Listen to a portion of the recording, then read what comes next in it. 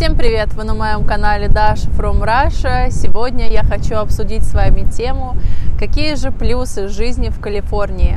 Не переключайтесь, поехали!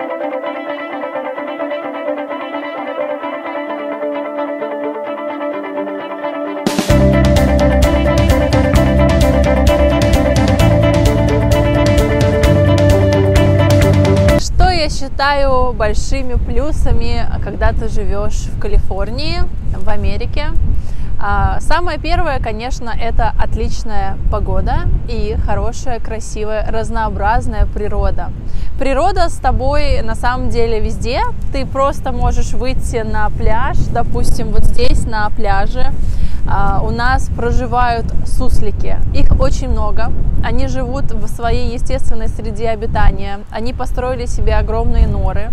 И ты просто можешь идти по набережной, по берегу и наслаждаться а, единением с природой. Они не боятся тебя, они спокойно живут, их никто не трогает. Это очень хорошо и приятно.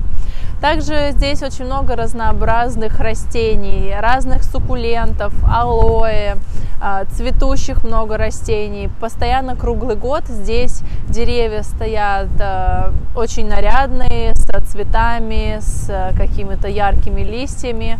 Это мне очень нравится, так как я человек, который любит фотографировать а, природу, фотографировать цветы.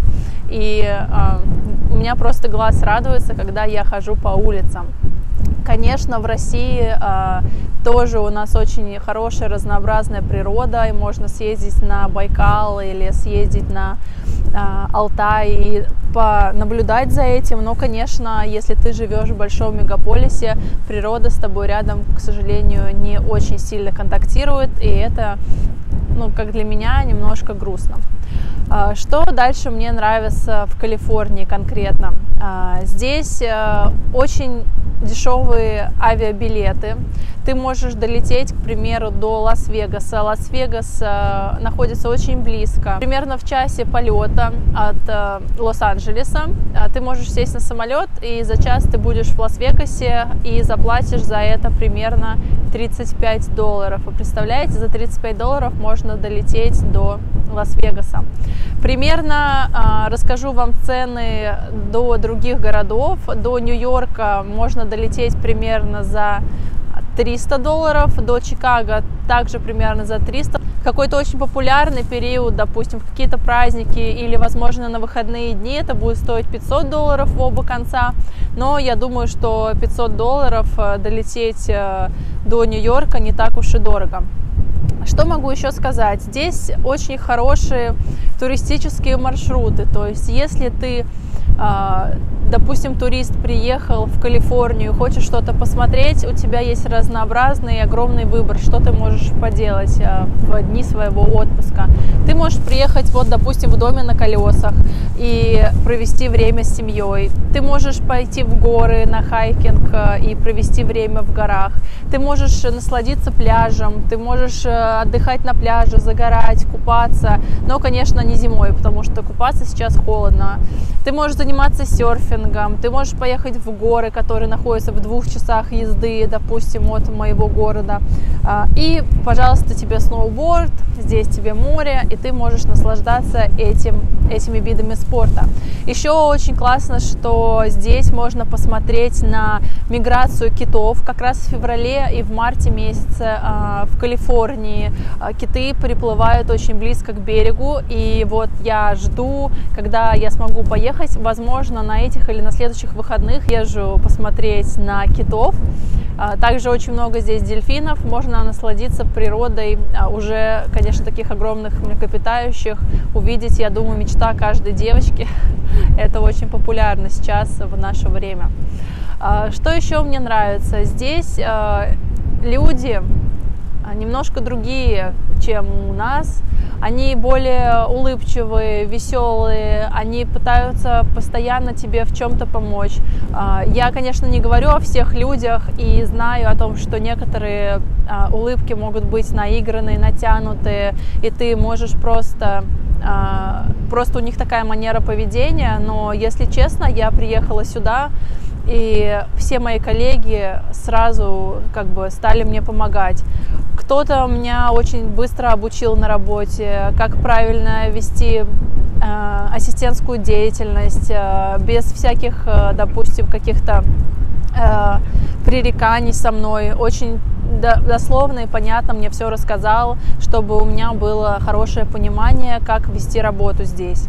А, допустим, другие мои коллеги каждый день после работы, 5 дней в неделю довозят меня домой, потому что они знают, что я без машины пока, и мне сложно передвигаться на автобусе, и они просто довозят меня, хотя, возможно, некоторым из них не по пути со мной.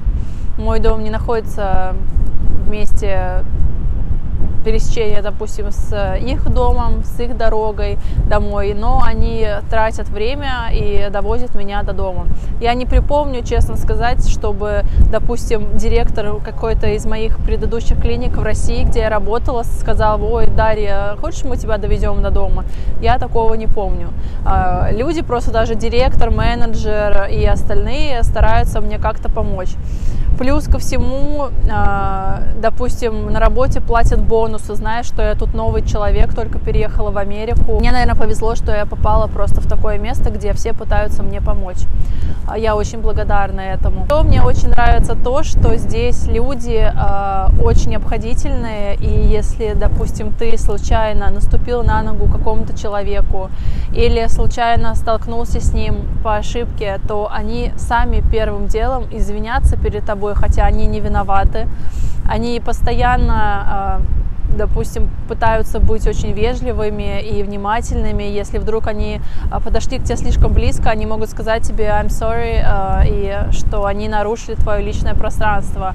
А, об этом мне говорила одна моя хорошая знакомая, которая живет в Америке, и говорила, что, допустим, она хотела зайти в лифт, а в лифте уже были люди, и этот человек просто извинился и сказал, что он не против, что вы зайдете в его личное пространство, и сказал, что если вы хотите хотите, можете поехать первая, да, мужчина предложил девушке а, уступить место в лифте и поехать. Э, очень хорошо в Калифорнии, что здесь есть социальная помощь для людей, которые остались в тяжелом положении или у которых нет хорошей финансовой возможности платить по своим счетам.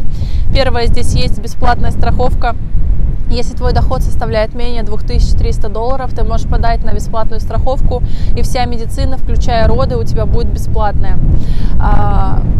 Также здесь есть э, помощь людям, у которых нет средств к существованию и у них нет денег оплачивать свою еду.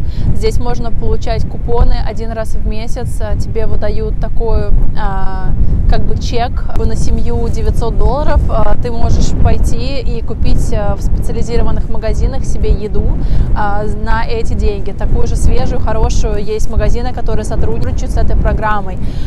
Еще есть такие заведения, как футбол банке, если у вас тоже нет денег, вы можете поехать и взять э, еду абсолютно бесплатно. Э, церкви и благотворительные фонды спонсируют э, эти фудбанки, и ты можешь, если тебе нечего кушать, пойти спокойно взять эту еду. Интересно, что в Америке ты можешь родить ребенка, да, по страховке это будет совершенно бесплатное обслуживание медицинской роды, и после этого твой ребенок сразу становится гражданином Америки. То есть, если ты даже приехал без документов, сюда, остался здесь после туристической визы или приехал через Мексику, ты можешь спокойно остаться и родить здесь ребенка, и твой ребенок будет полноправным членом общества, гражданином Америки. Не все страны, к сожалению, по праву рождения выдают такие документы. Еще интересный факт, если э, ты получишь э, паспорт американский, проживешь, то есть с грин-картой, как я здесь 5 лет, ты получаешь паспорт,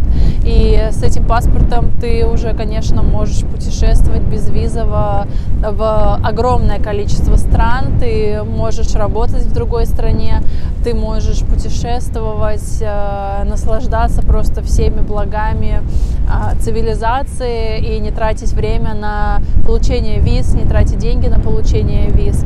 Кстати, еще прикольный факт, что если у тебя есть грин-карта в Америке, ты можешь съездить в Канаду и можешь съездить в Мексику, э, просто попутешествовать, тебе не нужно получать никакую визу. В Канаду ты должен сделать онлайн application, онлайн-заявку, и это будет стоить для себя 7 долларов. После этого тебе дают разрешение на въезд в Канаду, даже если у тебя российский паспорт. И в Мексику ты не должен делать никаких заявок, ты просто можешь поехать и путешествовать по чудесной Мексике.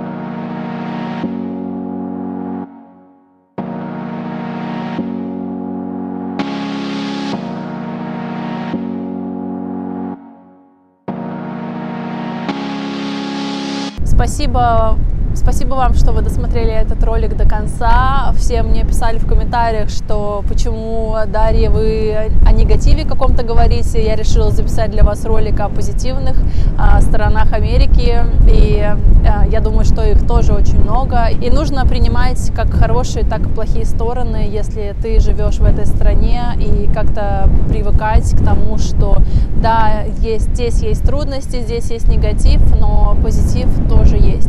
Поэтому всем э, людям, которые переехали в другие страны, желаю всем находить больше положительных моментов в своей иммиграции, принять все отрицательные стороны, если такие имеются. Всем хорошего дня, пока!